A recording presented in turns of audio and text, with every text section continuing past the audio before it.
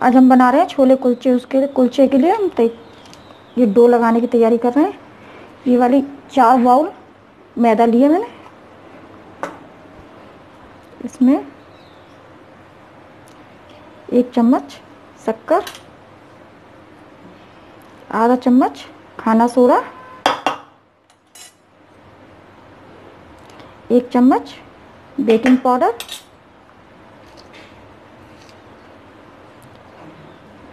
एक चम्मच नमक।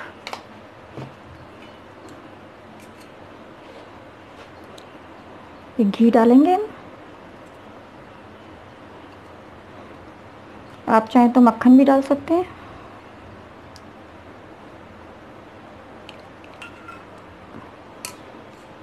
इसको मिक्स कर लेंगे अच्छे से।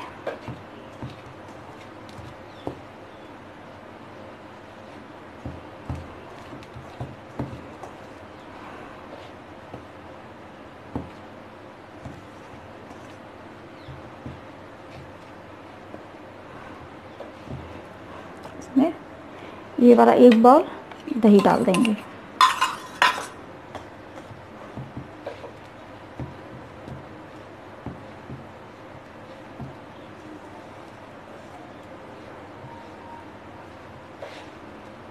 इसको अच्छे से मिक्स कर लें।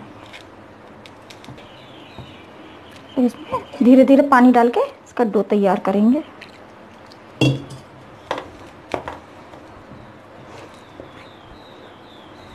डो को हम मीडियम ही रखेंगे, ज़्यादा टाइट नहीं करेंगे।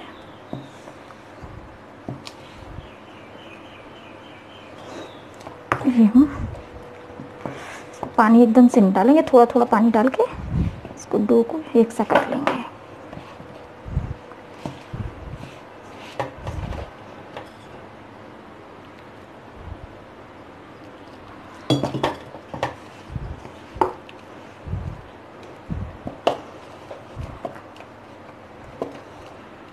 ये हमारा डो तैयार हो गया है। अब इसको हम चार से पाँच मिनट अच्छे से मैश करेंगे। चिकना कर लेंगे इसको अच्छे से।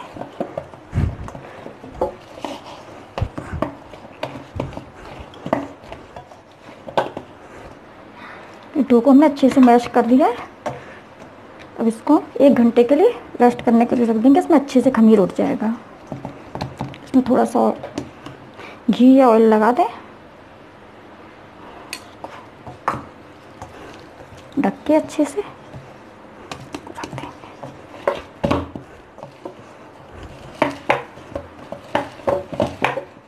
इसको रेस्ट करने के लिए रख देंगे अच्छे से खमीर उठ जाएगा। ये हमारा दो एकदम तैयार हो गया है। से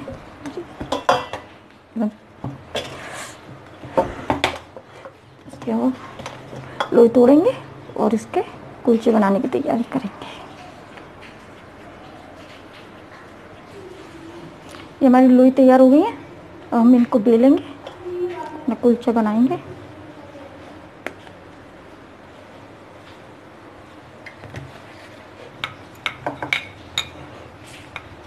जो गोल बनाएँगे, आप चाहें तो लंबा बना लें। हल्का सा पानी लगाएँगे। थोड़ा सा धनिया लगा दें।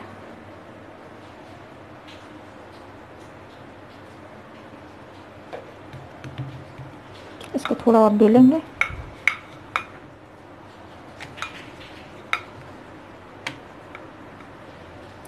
गया इसको तवा हमारा गर्म हो गया हम तवी पे डालेंगे।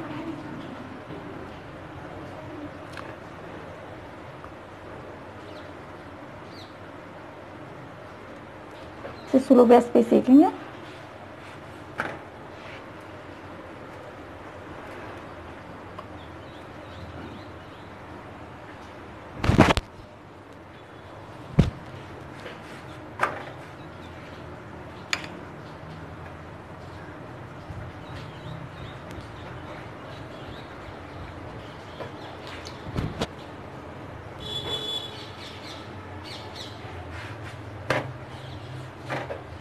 सेकेंगे थोड़ा सा और सीखेगा हमारा? तैयार हो जाएगा कुलचा हमारा।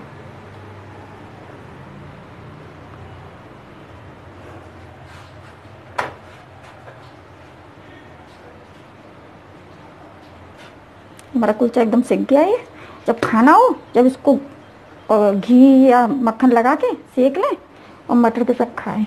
अभी मैं बना के रख दे रही हूँ। चाहे इसे फ्रिज में रख लो, दो तीन दिन तक इसे खा सकते हैं। हमारे तैयार है बाकी के भी तैयार कर लेती हूँ। कि हमारे कुलचे तैयार हैं, और जब इन्हें खाने हो, जब इन्हें सेक लें, इन्हें चाहे तो तीन चार दिन फ्रिज में रख लेंगे, कोई दिक्कत नहीं, देखो कितने बढ़िया आए हैं, देखो थिकनेस देखिए इसकी सॉफ्ट देखिए कितने सॉफ्ट हैं ये। तो हम छोले की तैयारी करेंगे इसके संग, मटर उबाल दें, मटर उबाल के, उसके संग फिर हम ये सेक के देंगे। ये हमारी मटर ये वाइट वाली मटर आती है, मैंने बॉईल कर ली थी, ये बॉईल करके रखी हुई है। अब हम इसके तड़के की तैयारी करते हैं। तब तो हमारा ऑयल गर्म हो रहा है, तब तक इसमें हम मसाले मिला दें लाल मिर्च पाउडर, जैसा तीखा खाएँ। धनिया पाउडर।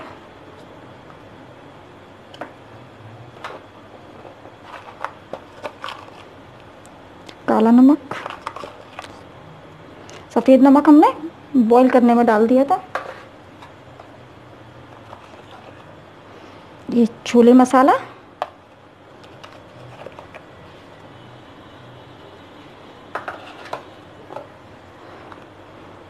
गरम मसाला।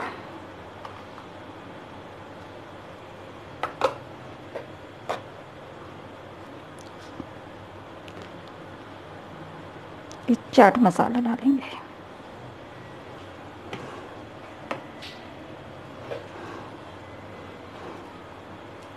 हमारा ऑयल गर्म हो गया। है इसमें हम प्याज डाल देंगे।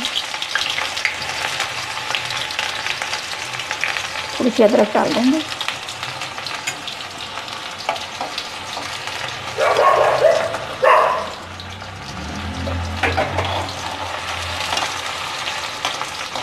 अदरक हमारी भून जाए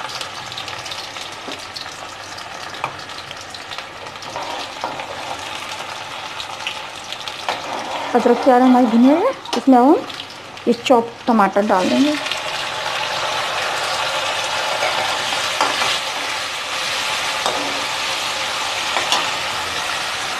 हमारा तैयार हो गया इसको। ये भुन जाएगा तो इसको इसमें मिक्स कर देंगे। इसमें ये ये इमली का पानी निकाल लिया था। इमली धो के ये इसमें खटान के लिए डाल देंगे। इसकी खटान अच्छी आती है इमली की। पानी नहीं मिलाएँगे, इसी से थोड़ा सा इसे पतला कर लेंगे।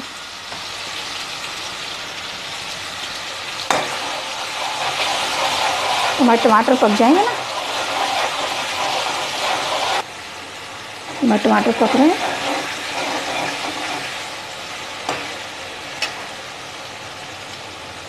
इसमें ये हमने मसाले मिला के रखे थे।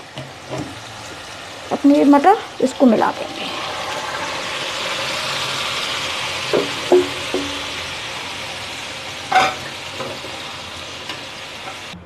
ये हमारी बन गई है, इसमें हम हरा धनिया डाल देंगे अच्छे से।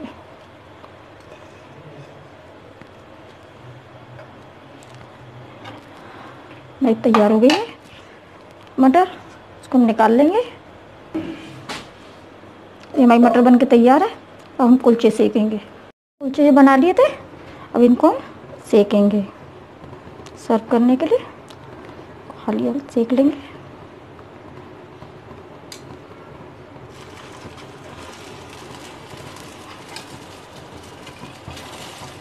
देखिए, कितने सॉफ्ट हैं एकदम से।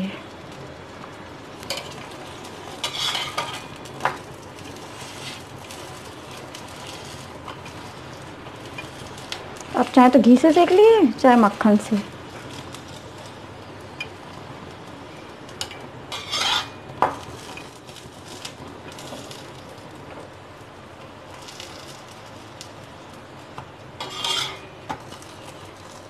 दूसरा भी सेक लेंगे हम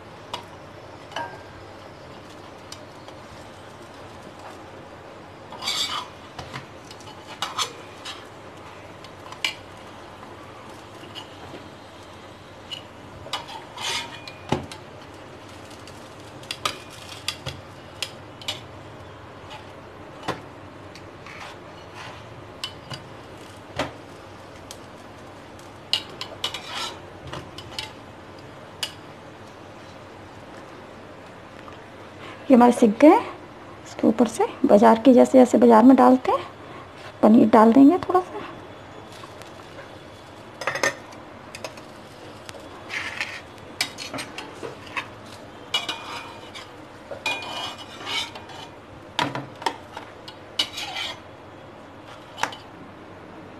ये हमारे कुलचे तैयार हैं। ये हमारी छोले मटर, ये तवा मिर्च, तवा फ्राई करके मिर्च बनाई थी।